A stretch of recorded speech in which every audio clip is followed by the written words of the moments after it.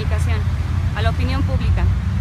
Hoy a las 3.39 am, cumpliéndose 22 días del campamento en Toyocan que se sostenía en rechazo al proyecto de túnel de acceso al centro comercial Galerías Toluca y retorno sobre Paseo Toyocan, los colectivos que forman parte de la agrupación Conciencia, Crítica y Acción, así como el Observatorio Ciudadano de Género y el Periodismo y Activismo México, fuimos agredidos por parte de un grupo armado de alrededor de 30 personas que arribó en cuatro camionetas cerradas, al parecer tipo Explorer y un vehículo, Golpearon y despojaron a los 11 integrantes por más de 20 minutos, llevándose nuestros teléfonos, carteras y desmantelando el campamento. Dentro de la agresión de la que fuimos víctimas, las 11 personas que nos encontrábamos en el campamento, se encuentran golpes, patadas, amenazas de muerte con uso de armas de fuego, agresiones sexuales a compañeras. A través de las pruebas con las que contamos, podemos asegurar que miembros del grupo armado forman parte de la policía. Por ello, responsabilizamos al gobierno del Estado de México, empresa Galerías Toluca y a quienes resulten responsables de estos hechos.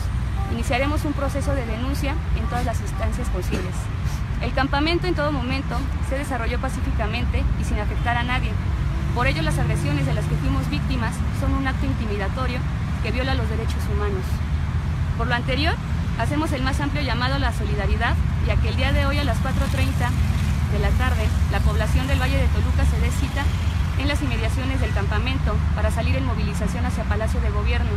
En la movilización exigiremos investigar a los autores materiales e intelectuales de la agresión, asimismo la cancelación inmediata del proyecto de túnel de acceso al centro comercial Galerías Toluca y retorno sobre Paseo Toyocan.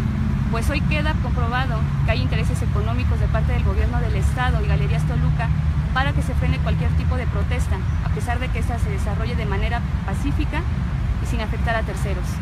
Conciencia crítica y acción, Observatorio Ciudadano de Género y el Periodismo y Activismo de México. ¿Cuáles son las pruebas con las que cuentan de que la policía estaba involucrada en estos hechos? Tenemos unas pruebas que pronto, en algún momento, las daremos a conocer. Por lo pronto las guardaremos para protección nuestra, pero sí tenemos pruebas contundentes y fuertes de que fue... Pero pues...